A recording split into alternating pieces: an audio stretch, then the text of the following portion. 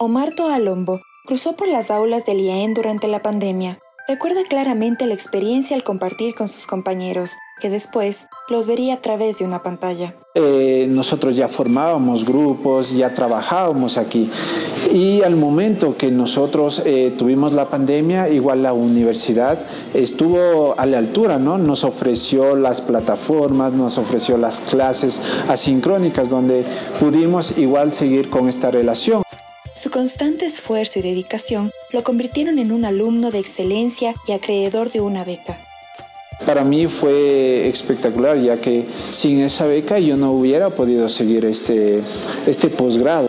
Omar tiene el interés de continuar ampliando sus conocimientos e investigando, siempre con la visión de ayudar a otros. Mis líneas de interés son tanto la tributación, la docencia y también, ya que yo poseo una discapacidad, es todo lo que es la discapacidad. El contribuir a su comunidad se ha vuelto su pasión, logrando una diferencia positiva y significativa. Nosotros siempre estamos aportando.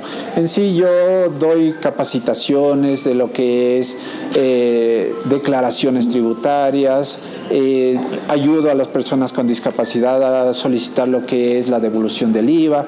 Entonces no solo estoy ayudando al Estado, también estoy ayudando a la comunidad. Su transitar en el IAEN lo llevó a plantearse nuevos sueños. Actualmente eh, cambió mi panorama laboral, también la visión que tenía.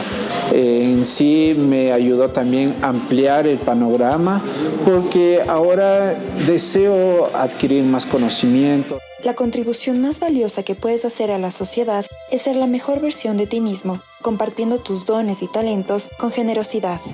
Ese es el, interés que uno se tiene, ¿no? No solo asumir el conocimiento, sino también impartir el conocimiento.